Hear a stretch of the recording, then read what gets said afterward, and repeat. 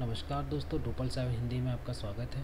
और दोस्तों चलिए ड्रूपल कॉमर्स ट्यूटोरियल की सीरीज़ जिसमें अब तक हम लोग कवर कर चुके हैं कि हम लोगों ने इससे पहले प्रोडक्ट इंपोर्ट किए थे और मैनुअल भी प्रोडक्ट ऐड किया था और बल्क में भी प्रोडक्ट इंपोर्ट किए थे। ठीक है? तो इस वीडियो में हम लोग क्या करेंगे? अपने प्रोडक्ट जो हमने ऐड किया है, उसका एक कैटलॉग बनाएँगे। कैटलॉग बोले तो एक लिस्टिंग टाइप की वेबसाइट में जैसे प्रोडक्ट की लिस्टिंग होती है, उस टाइप की मैं, एक एग्ज़ाम्पल के लिए हम लोग ये ये पहले बना चुके हैं तो इस इसमें इस तरीके का जो पूरा लिस्टिंग है वो हम लिस्टिंग बनाएँगे ठीक है? और इसमें एक एक फंक्शनलिटी और ऐड करेंगे इनफिनाइट स्क्रॉलिंग की आ, वो भी हम ऐड करेंगे। तो स्टार्ट करते हैं सबसे पहले हमने मॉड्यूल इंस्टॉल करना पड़ेगा वो रहेगा हमारा व्यू यूआई क्योंकि अभी हमने व्यू यूआई इनेबल नहीं किया। और इसके बाद ठीक है तो ये हमारा हो गया और उसके बाद जो हम नाम रखेंगे, व्यू का अपना। तो सब चलते हैं कि स्ट्रक्चर में, व्यू में।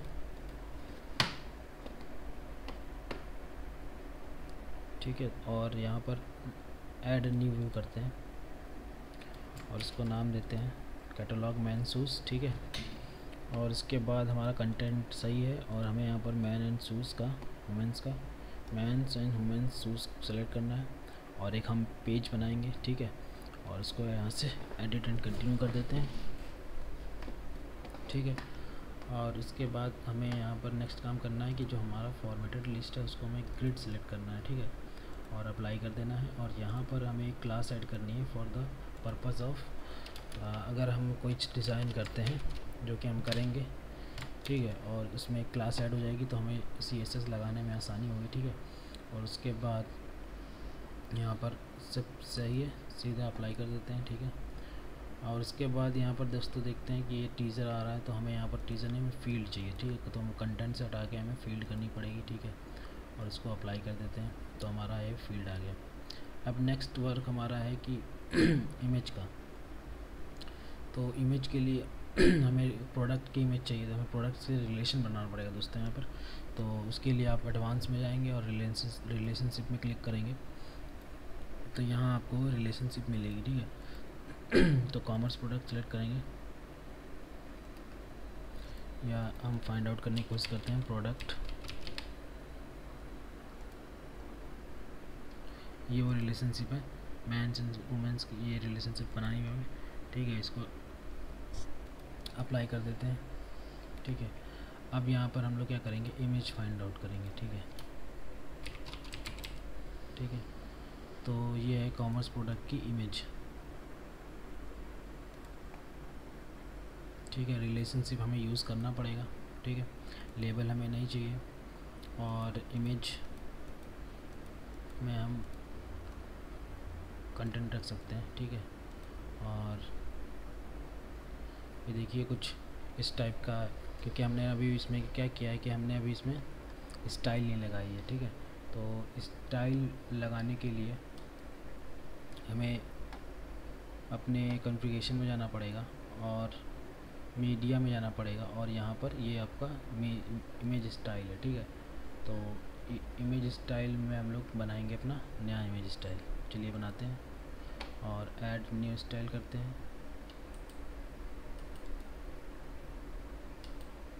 ठीक है। और यहाँ पर हम लोग जो स्टाइल बनाएँगे, वो हम लोग बनाते हैं शूज़ और आइडिया रहता है कि अगर हम यहीं पर डिक्लेयर कर दें तो अच्छा रहता है। तो हमें पता चल जाता है कि इसका साइज़ क्या था, ठीक है? तो इसमें कर देते हैं 127 ठीक है? ये सही रहेगा। या अपने हिसाब से आप जिस जिस साइज़ का आपको दिखाना पड़े, ठीक है? तो अपने हिसाब से आप बना सकते हैं। उसके बाद दोस्तों हम लोग यहाँ पर ऐड करेंगे स्केल एंड क्रॉपिंग ठीक है स्केल एंड क्रॉपिंग ऐड करेंगे और यहाँ पर जो हाइट जो हम देंगे, वो आपको अपने हिसाब से करनी पड़ेगी, लेकिन हम लोग अपना एक लेके चलते हैं आइडिया ठीक है? तो यहाँ पर हम लोग ले लेते हैं 245 या 127 ठीक है? ठीक है। थोड़ी सी विर्थ बढ़ा दी है। यहाँ पर विर्थ हम लोग बढ़ा देते हैं। ठीक है। तो ये हो गया नाम अपडेट ठीक है। अब हमें क्या करना है कि हम लोग जो जिस व्यू पे थे, उसमें चलते हैं। ठीक है। और यहाँ पर हमें वो इमेज जो हमने ऐड की थी, वहाँ पर हमें ये स्टाइल मिल जाएगी और इसको हम लोग अप्लाई कर देंगे, ठीक है? इस तरीके से। देखिए, ये छोटे छोटे हो गए तो यही हमें चाहिए था, ठीक है? अब इसको हम लोग सेव कर लेते हैं। ठीक है, अब जो हमें चाहिए वो हमारा रहेगा कि टाइटल हो गया हमारे पास। अब जो हमें चाहिए वो हमारा है प्रोडक्ट का ऐड टू कार्ट की बटन और एक हमारा प्राइस ठीक है, वो भी हम ले लेते हैं। ठीक है प्राइस ले लिया ऐड टू कार्ट का हमें दिखाने की ज़रूरत नहीं है, ठीक है, इसको ऐसे ही सेव कर देते हैं। प्राइस का भी लेवल हमें दिखाने की ज़रूरत नहीं है। ओरिजिनल प्राइस सेव कर देते हैं, ठीक है। तो ये हमारा हो गया प्राइस ठीक है। अब हम लोग क्या करते हैं, इसको सीरियलाइज़ कर लेते हैं, जिस उसमें हमें चाहिए, ठीक है। तो ये हो गया इमेज और ये हो गया हमारा प्राइस ठीक है प्राइस ऊपर और उसके बाद टाइटल और उसके बाद ठीक है तो ये हमारा हो गया। अब हम लोग सेव करते हैं। और हम लोग चलते हैं अपने व्यू में, जो हमने बनाया। तो ये इस टाइप का है दोस्तों, ठीक है। और अगर हमें इसको फुल पेज पे दिखाना है तो हमें यहाँ से इसको हटाना पड़ेगा, ठीक है? तो इस पेज से हम लोग उसको हटा देते हैं। तो इसमें हम लोग कंडीशन लगा देते हैं। कि ये ब्लॉक इस पेज पे ना आए, ठीक है?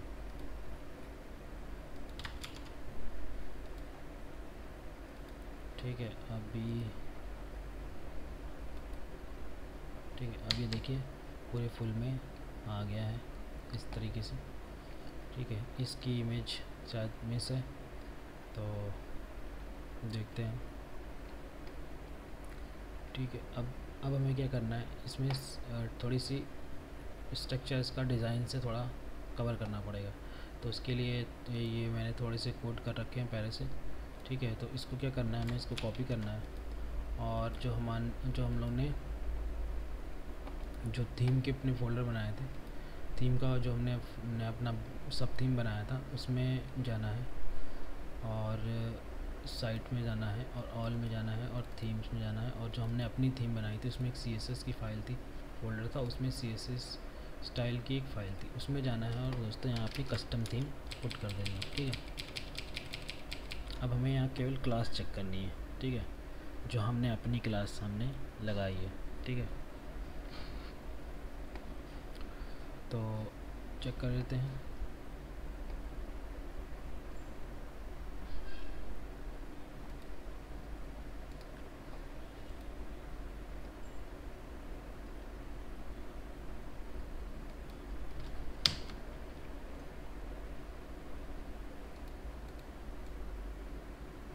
ये हमारी व्यू की क्लास हो गई।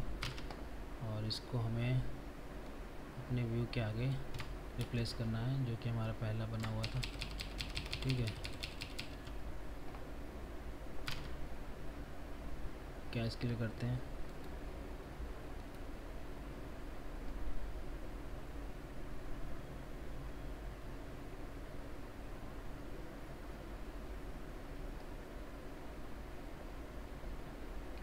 ठीक है तो और देखते हैं हमारा क्या क्या नहीं अप्लाई हो रहा। और हमें सी एस एस हमारे पास बना बनाया तो यहाँ से हम सी एस एस ले सकते हैं, ठीक है? तो कैटलॉग में चलते हैं। ठीक है, ये कैटलॉग वर्क नहीं कर रहा, ठीक है? तो हम लोग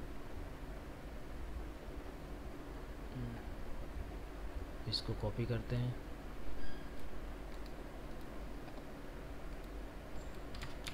ठीक है इसको सेव करते हैं और अपने प्रोडक्ट को डाल के।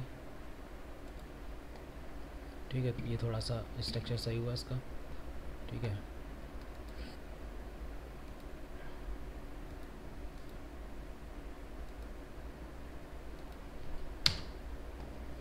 ठीक है।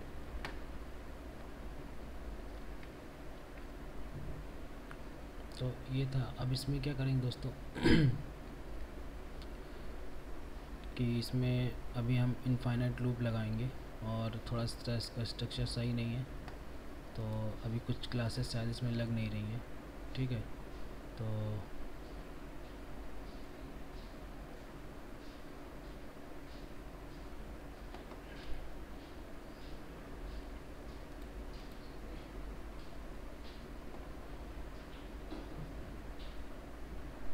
थोड़ा सा यहाँ कवर करते हैं।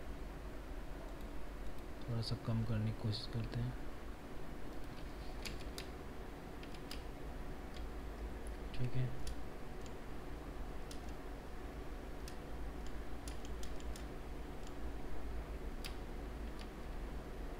इस तरीके से। ठीक है तो ये दोस्तों डिज़ाइन है, ये आप मतलब कवर कर सकते हैं, कहीं से भी अगर आपको सही स्टाइल मिल रही है। अब नेक्स्ट दोस्तों इसमें क्या करते हैं कि इसमें हम लोग इनफाइनाइट लूप लगाते हैं, ठीक है?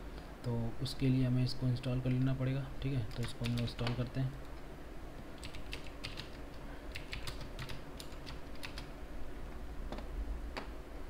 ठीक है इंस्टॉल करने के बाद हमें इसको इनेबल करना पड़ेगा। और जिस व्यू में हम लोग को लगाना है, उस व्यू में हमें इसको लगाना पड़ेगा। तो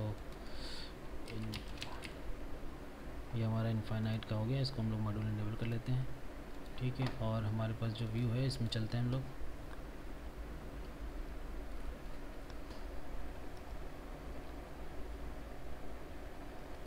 जैसे कि हमने अपने ग्रिड ले रखा है तो इसमें हमें फोर ये हमारे पास ऑप्शन है। तो ग्रिड में हमारे चार चार का ऑप्शन है तो मतलब four four four by four इस तरीके से कुछ कि ये इस तरीके से रहेगा। फोर फोर तो फोर फोर फोर मतलब एक रो में चार प्रोडक्ट हैं तो उसी हिसाब से हमें यहाँ भी सेट करना पड़ेगा, ठीक है? तो इनफाइनाइट लेते हैं, यहाँ पर स्क्रॉलिंग और यहाँ पर हम लोग बारह आइटम सेट कर देते हैं, एक बार में बारह आइटम डिस्प्ले होगा, ठीक है? और इसको सेव कर देते हैं।